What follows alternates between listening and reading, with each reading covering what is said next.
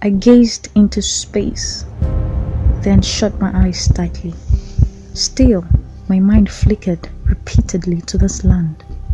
This land flowing with milk and honey, yet soaked with the blood of both the innocent and the guilty, shed on the altar of persistent violence.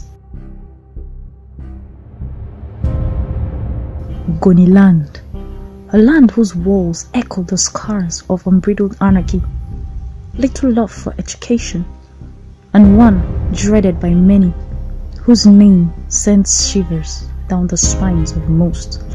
Then I jerked out of my thoughts, not wanting to swim in the sickening tides I felt in my stomach anymore. What's more, I knew he had parted the Red Sea before, shut the mouth of lions and storms, and calmed the raging seas. You see, light indeed was long overdue to surface in Ogoni land, and Jesus Corpus achieved this feat successfully.